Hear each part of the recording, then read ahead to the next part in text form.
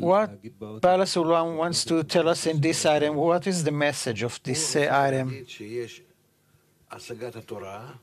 is trying to tell you that there is the attainment of the Torah, which happens as usual in four phases, from the shoresh, the root, uh, to, to the last Behina, which is Dalet, we are in the root from the outset because we are people. We have special qualities. We were prepared by the Creator through the shatterings, through everything that's happened after the shattering, the fall, and everything else. And then the reforming light is working on us and begins to scrutinize us, sort us, and that's how it moves us. So, to where, for what? So that we would attain Him. And in attaining the Creator,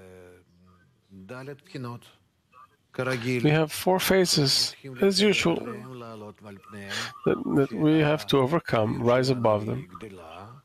My, uh, our Aviut our coarseness, grows by the revelation of the shattering that preceded us as preparation, and by discovering the shattering, correspondingly, we can demand, ask, support, assist our own correction.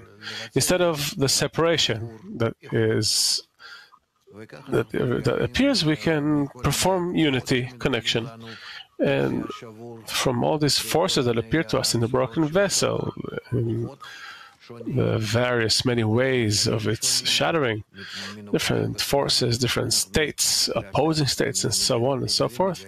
Gradually, we reveal, reveal, reveal the one force there is none besides him, and also increasingly that it is good who does good. In our understanding, in our feeling, meaning in his intention towards the creation, towards the creatures.